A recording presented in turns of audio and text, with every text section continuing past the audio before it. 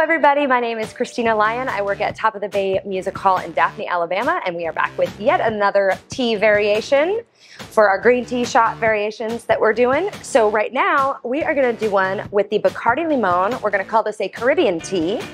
And so all of the other ingredients are the same. We're just swapping out the Jameson with the Bacardi Limon. And we are gonna start, we're gonna get some ice in our shaker.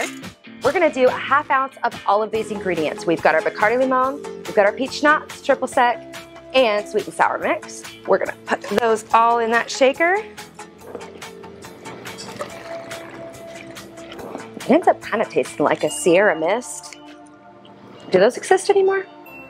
I think. A Sprite. Tastes like a Sprite. We're gonna shake that up. This is a really nice little variation of that tea shot. Let's strain this. Here's my strainer. And we're gonna top it off with Sprite.